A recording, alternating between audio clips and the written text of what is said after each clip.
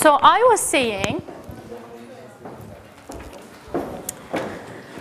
I was saying that um, IR scholars, uh, as early as in 1960s, realized that, and this was when um, behavioral revolution in the world uh, would argue that uh, international relations would be, should be studied from a rational perspective and data is very, very important. So, so IR scholars such as Singer decided to get together a database and in that database they actually came up with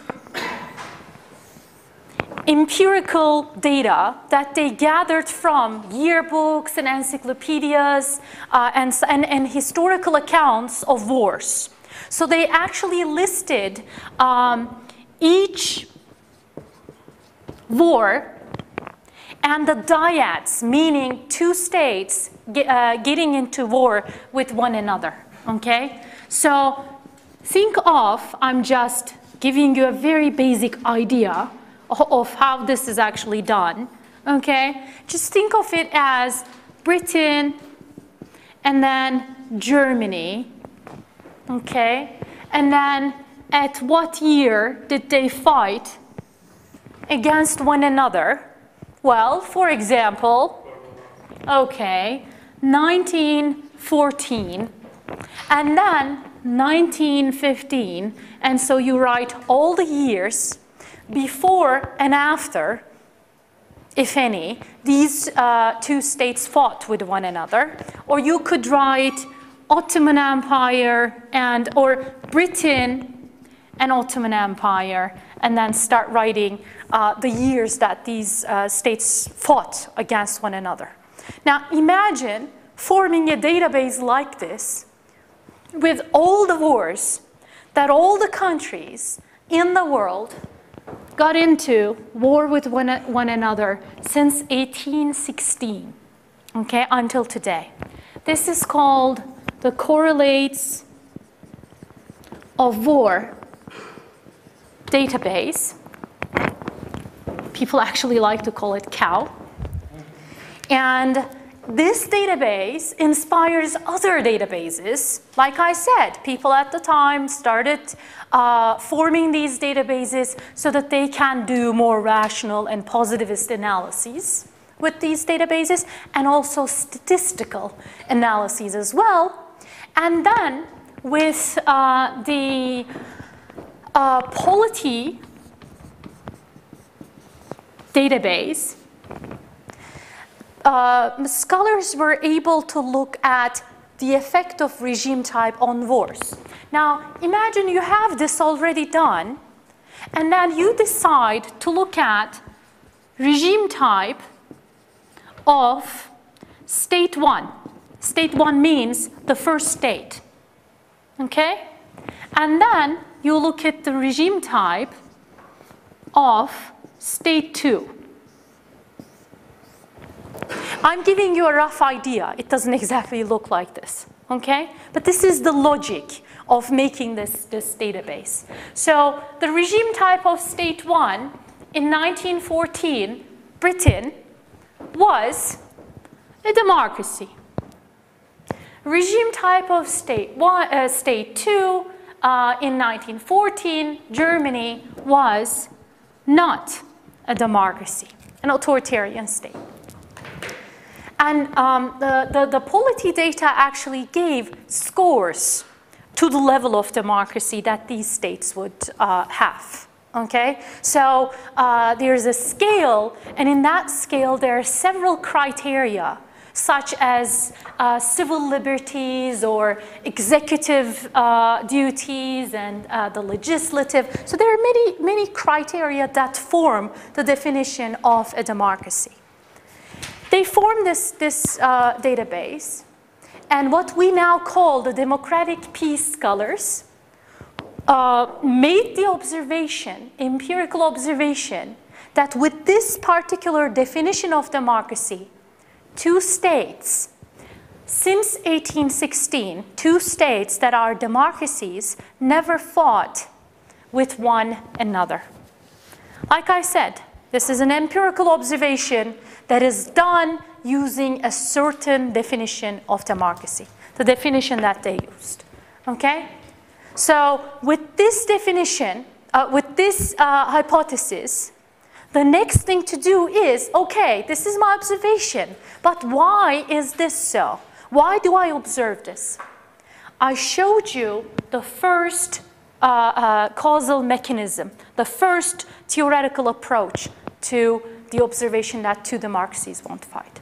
And that one was that leaders are socialized in democracies differently than leaders uh, and people socialized in non-democracies. Yes? Uh, I believe the question which should be asked to the democratic peace theorists is that were they really democratic? We are going to get to it. I know, I know. We are getting there. Just bear with me. Taha, bear with me.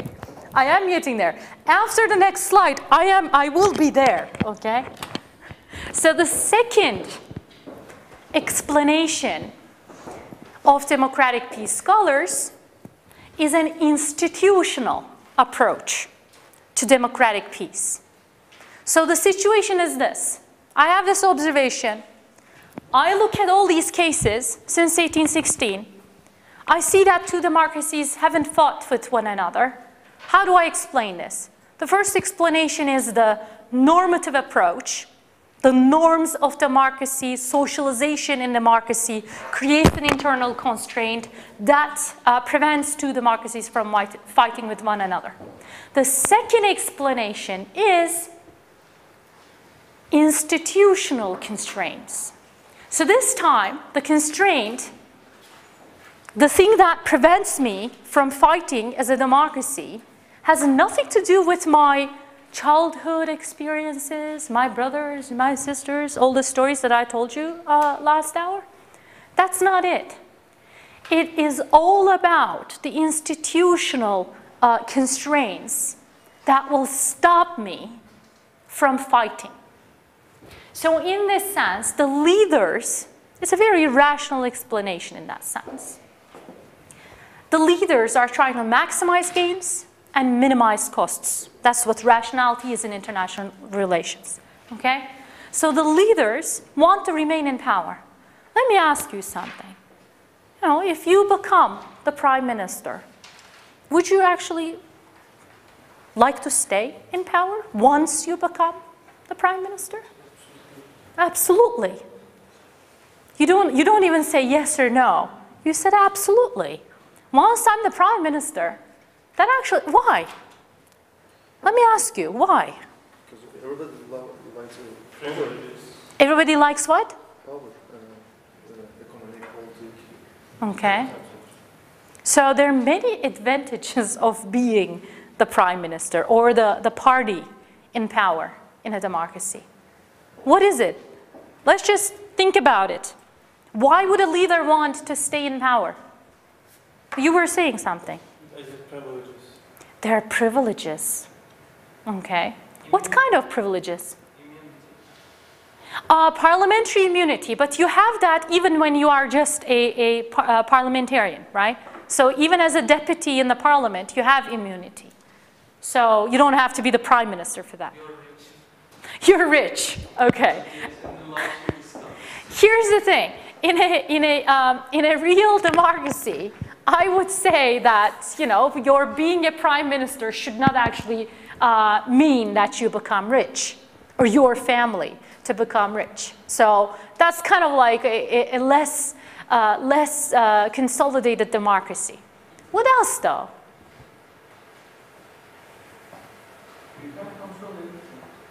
You can control everything. Okay. Uh, uh, when I say you, when I say you or when you say you, you actually mean you know, the, the cabinet. It's not one person, but the cabinet uh, actually controls a lot. Okay, not everything, but a lot. How will the, the economy in the country function? Um, are we going to, uh, I'm, I'm talking from the perspective of Turkey, are we going to do something about, do more about uh, accessing the, the European Union? Are we going to, let me think of the hot issues in Turkey today. Are we going to give, um, give um, uh, the uh, bedelli askerlik, the, the military service is now um, uh, limited to paying a lot of money and so you won't actually even go for 21 days, um, which actually doesn't cover anyone in this crowd, right? As long as the economy is flowing towards my pocket and my to the pocket of my circle, Mm-hmm. I don't care what's going on. That's you from, from the leader's perspective? Okay, that's one view. What else? What else can you control? Let me tell you something. I was actually, uh, when I was traveling to, to uh, NATO two days ago, I actually flew business class. And uh, I mean, I'm a college professor. I don't fly in business class very often, right? Obviously. So, oh my God, it was so good. It was just so comfortable. What? yes, they did give me orange juice. but that wasn't the only thing. As soon as I sat, they gave me champagne. You know, orange juice was, was just not even, you know. Um, we're talking about champagne and, and um, uh, all these fancy, fancy food and all that. So, um, and I like to eat. I mean, you can tell. So, in that sense, you feel when you uh, travel business class, you feel that you can do anything. There is an incredible sense of power. And I only traveled, traveled for what? It's three hours. so my reign uh, lasted only three hours. Um, And it was just Um, a business flight. and it was just, and on the way back, we, we flew economy. so NATO sources was, was enough for, the, the, the, for only one way. Um, so in that sense, guys, it was, uh, uh, I am coming to, to, to a, a- an interesting point here. I felt incredibly privileged, incredibly rich, and uh, incredibly uh, prestigious and uh, all these, you know, all these nice things, like I can do anything, like Kevin Costner. Remember the Turkish Airlines uh, ad? There was a commercial with Kevin Costner, and also there was Kıvanç Tatlıtuğ, and they were covering him, right, with with a blanket. No one covered me with a blanket, but I felt like the, the hostesses can, can any moment come and cover me uh, if I was cold. Um, so it was an incredible sense of uh, being in charge, of power. Like I said, I mean, it didn't last, but, but still, for that time being, I actually felt that, you know, it was very nice to have that power Because you are being respected. because you are being okay i'm going to, to actually tell you one more funny thing about the, the trip and that will be it i actually gave my, um, my passport on the way to the, the plane. I gave my passport uh, first and i looked at my passport and they're not smiling and all that. And then i gave my, my boarding cap, uh, pass. And the next moment the guy is like welcome. Oh it's so nice to see you here. It's almost like he knows me, and of course he doesn't. You know, uh, I'm not that famous, so um, I actually did uh, definitely feel more respected. Now, what does that mean? It is an illusion, of course. I mean, if you're not a person who continuously flies uh, business uh, in all uh, the trips, then it's just an illusion. Next week, I'll have to go uh, uh, somewhere again, and I'm not flying business, so I'm not going to uh, live the same experience. Now, the leader, if you look at this from that perspective, the leader will want to stay in power uh, as long as he can, he or she can. Okay? So the leader then will desire his political party to remain in power. And I'm not talking about personal privileges. I'm actually talking about the institutional privilege of being the incumbent party, the party in government. Okay? Because you have the control of a lot of things. And of course, they also fly business all the time, right? Um, so the leaders have supporters, but also the leaders have uh, opposition. So um, our uh, government, uh, AKP, has uh, opposition parties like CHP, like uh, MHP.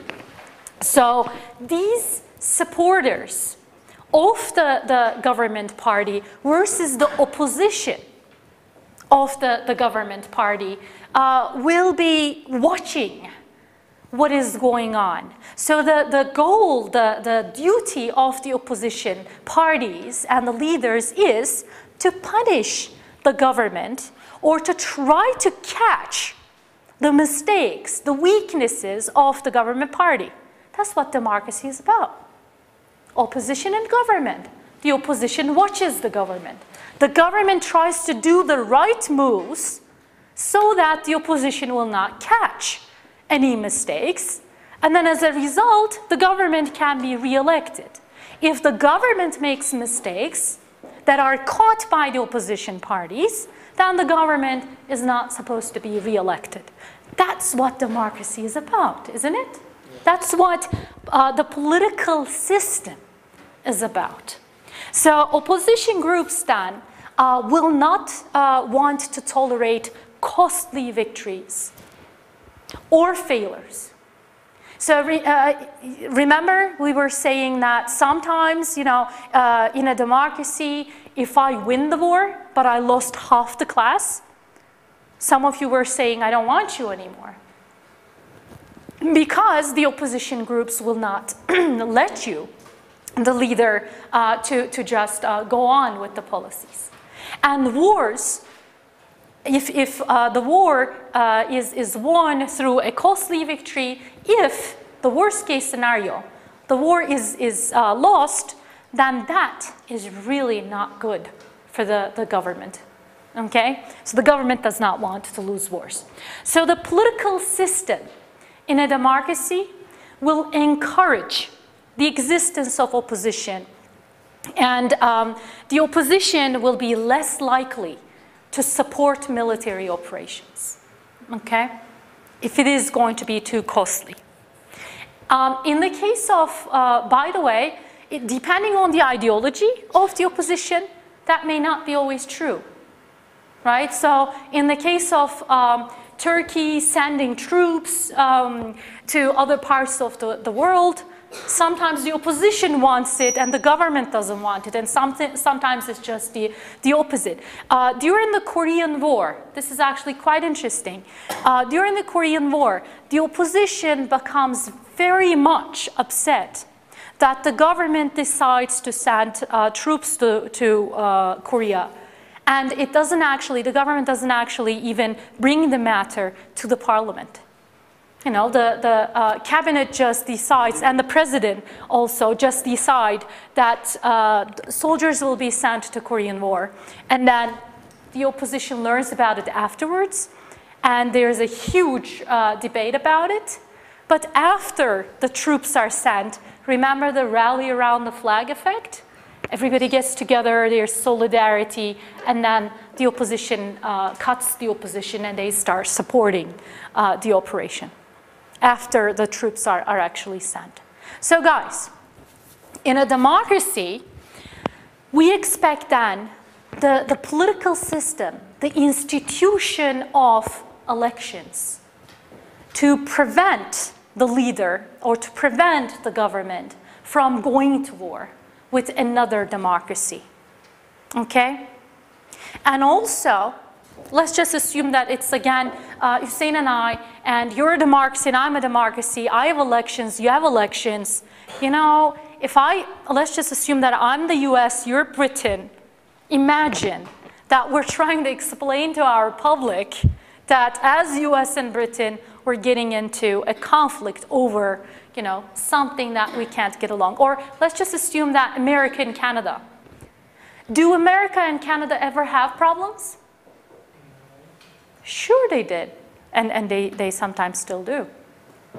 You don't really hear about these problems because according to this explanation, they never go to war. And the reason for that is the American public or the Canadian public would not let their leaders to get into a war with one another And the reason for that is they would vote the leaders out. Imagine the US and Canada getting into a war with one another. But um, maybe, uh, Sumin, you can, uh, have you ever heard of any problems between Canada? Have you ever heard of acid rain? Yes. Okay, not the song. There's a song, but not the song. So, was there a problem between Canada and the US because of acid rain? Just heard not much about it. Okay, so the problem is, you know, the industrial areas in the, the border close to Canada and the United States, um, because of the heavy industry in those areas, uh, acid will start raining on Canada the acid, uh, as a result of US industry, will, will actually come down on, on Canada, and Canada will be uh, very upset as a result of that. And then, you know, there will be negotiations on how to limit that. Now, why don't we actually know about this? Well, it's about environment. That might be one, one, ex, uh, one explanation. Well, it's about environment. Yeah, but it, it actually caused quite a problem between the US and uh, Canada because Canada actually was, was uh, uh, quite hurt as a result of the, the situation, uh, especially in the 1990s. So, guys, you're Canada and I'm US because I'm more powerful. Um, and we actually decide that our public will punish us with the institution, through the institution of elections, if we decide to go uh, to war with one another. So, this explanation of democratic peace, the observation that two democracies don't fight with one another, will say, okay, it's not internal constraints such as socialization of the, or the norms that the leader actually believes in. Instead, it is institutions that will um, in, uh, exert a, a, an outside pressure on the leader. Okay? So it's not me thinking, oh, but I should negotiate with Hussein. It's actually my constituency and the opposition outside, not from my inside, but outside, the, the opposition that stops me because I would like to get reelected. Let me tell you something it's very rare in democracies that a leader will not, uh, will not run for a second term. Most in most democracies, and in authoritarian states, by the way, I mean, the, the leader does not even run in elections, or they do, but there's only one party. so there's an opposition. So each and every leader will want to remain in power, both in authoritarian states and in democracies. But in democracies, because there's the institution of elections, we know for a fact that uh, the, the leader will want to, to win the elections. Let me add one more thing to this. Let's imagine that the leader will not want, okay, let's just uh, look at Turkey again. If uh, our prime minister, uh, Erdogan, does not want to rerun in the next uh, upcoming elections, guys, would he decide to get into a war? Restlessly, uh, recklessly? Let's just assume that personally, individually, he decided, due to health reasons, he does not want to rerun in elections would then the government get, uh, decide to get into uh, a war? Okay. Okay, so when I say leader, I want you to think of any leader, not that particular leader of, of a party for that particular time period. Think of it as the party. Erdogan would never decide to do something crazy, recklessly, uh, as getting Turkey into a, a, a war, um, because he would want, after him, even if he's not going to be uh, re-elected or he's not going to rerun in elections, he would not want to hurt his party. So this explanation does not only look at the individual or the leader, it also looks at the institution, the political party, the government. Okay? Is this clear? Everyone can answer that there are two hypotheses. The first hypothesis is Immanuel Kant's systemic hypothesis. As the states, uh, as a sta- uh, state becomes a democracy, then uh, that state will be more pacific. And the explanation for that was the Pacific public explanation, meaning the public will bear the cost, so they won't want to get into a war. The second hypothesis we mentioned today was two democracies will not fight uh, with one another, will be less likely to fight with one another. But a democracy will be qui- uh, as likely to fight with a non-democracy. Always remember Hussein and I, and then Orkun and I. With a non-democracy, I can fight. Okay? With a democracy, I don't.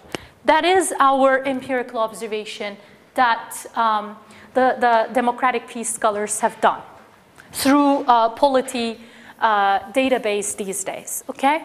They keep updating these databases. They keep running their analyses using these databases.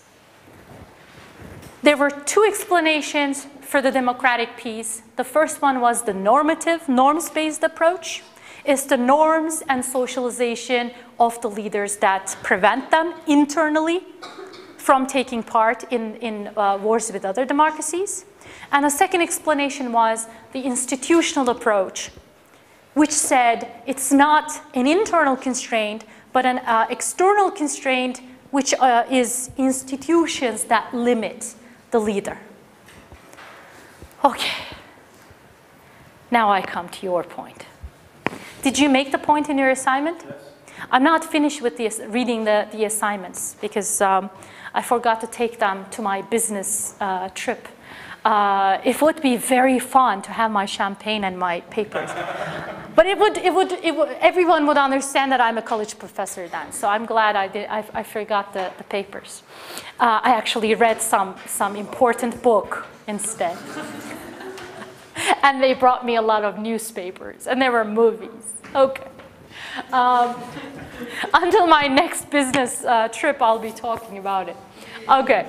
So uh, the next thing that we should discuss is what is the problematic issues pertaining to democratic peace? Is there anything problematic?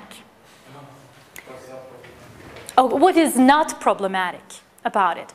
As I said, this is an international relations, um, uh, well, these are international relations uh, uh, theories to democ- uh, approaches to democratic peace from a liberal perspective.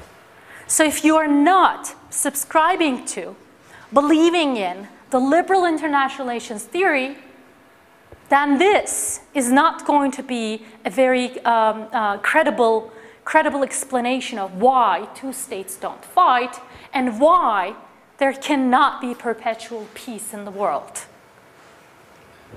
Say if you are a realist or a neo-realist, and if you believe that power politics is what drives the international system instead of things like regime type, then you're actually going to believe that, you know, regime type will have no effect on whether two countries will fight or not. So, uh, what might be another explanation that Hussein and I don't fight? From a realist perspective? What do realists believe? One of them is weaker than the other. So. Okay, power. Yes? There is strategic interest as to why you wouldn't fight, and also uh, it's, it's guided by the global capitalist economy. So, um, like, okay, so democracies don't supposedly go to wars with other democratic democracies because it's not favorable. But then at the same time, in 1957, the US overthrew uh, a democratically elected government in Iran and reinstituted uh, a monarchy. And so democracy was really the ideal. Why would they stand in the way of other coming to fruition? So there is no real resource or economic interest uh, due to dominate Canada, uh, where, whereas there is uh, a similar interest that would push you to uh, uh, kind of go to war and very Okay.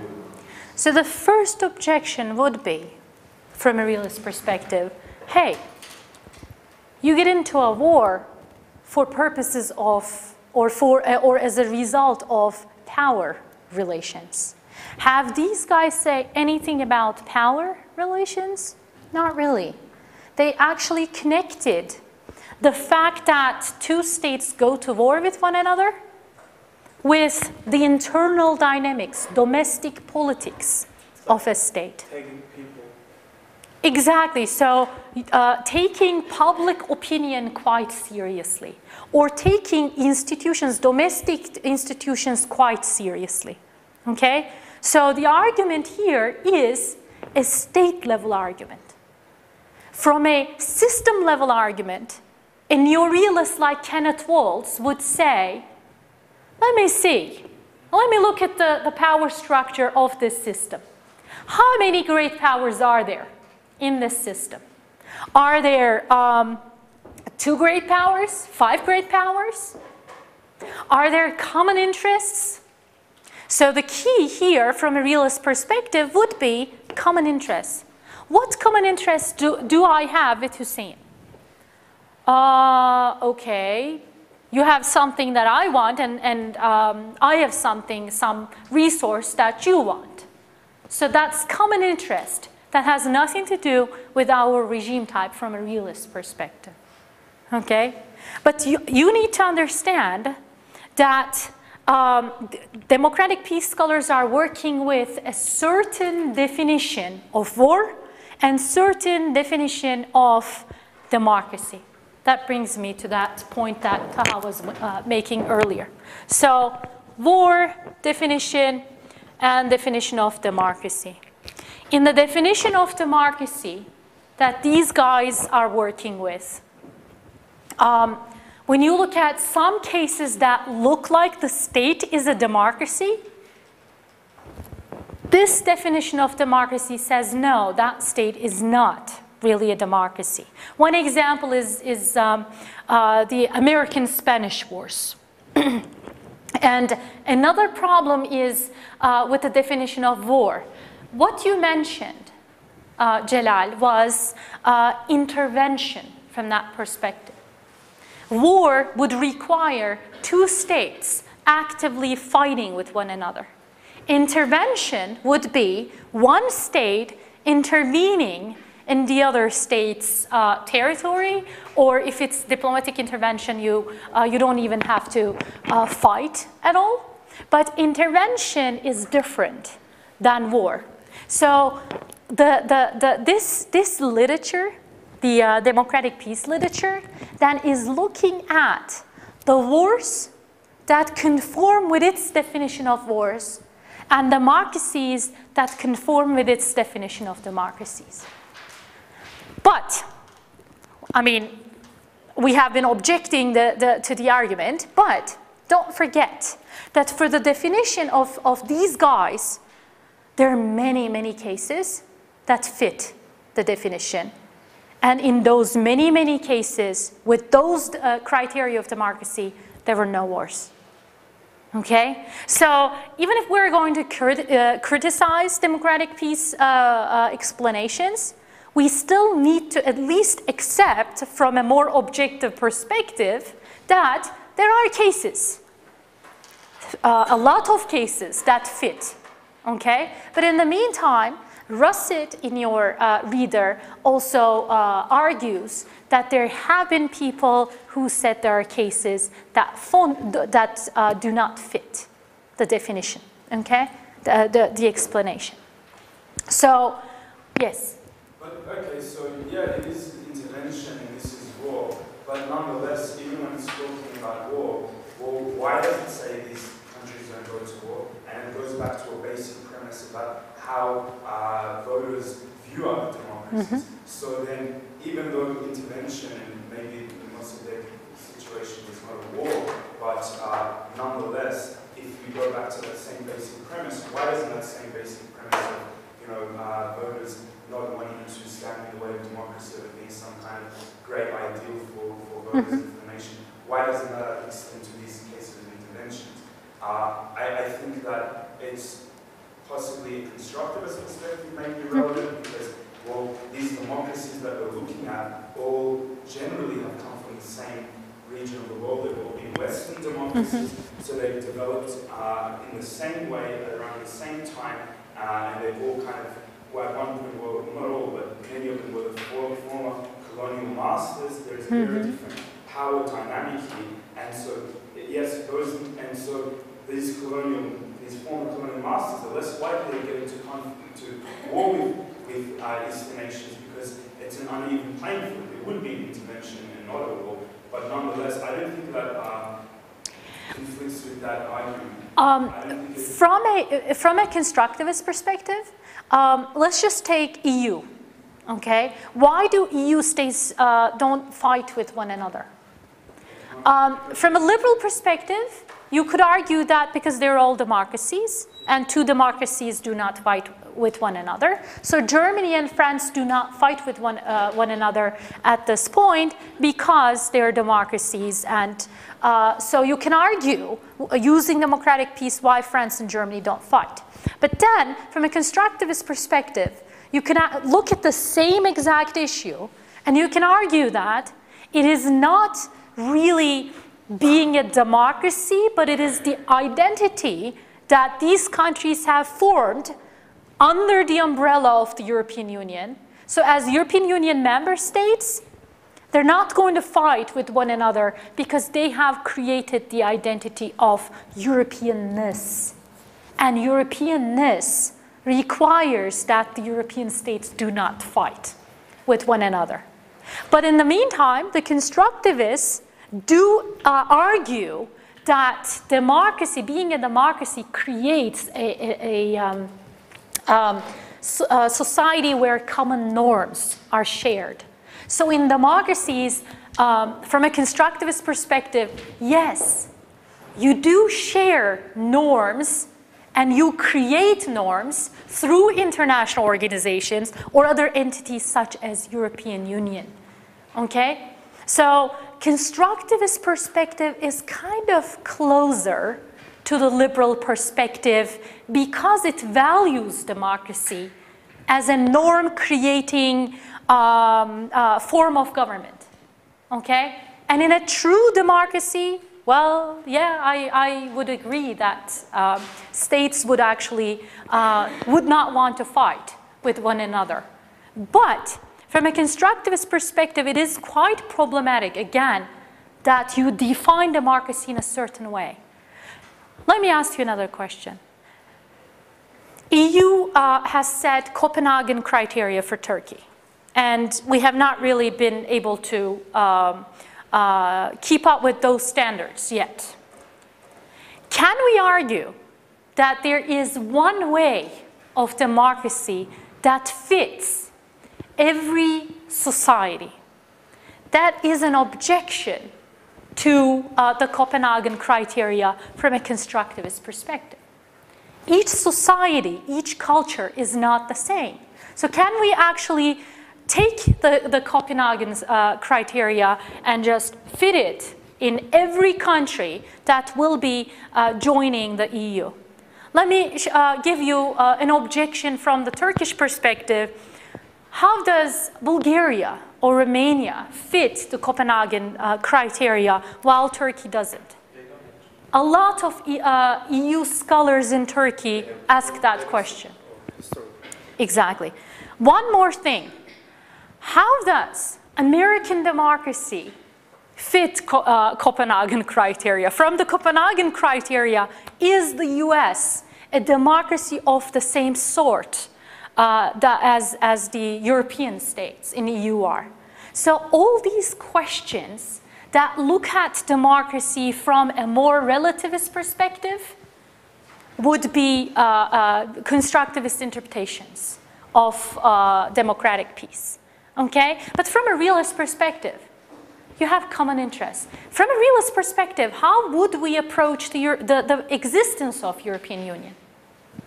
It's an intergovernmental um, structure where the power relations of each state determine what, what decisions will be made in the European Union.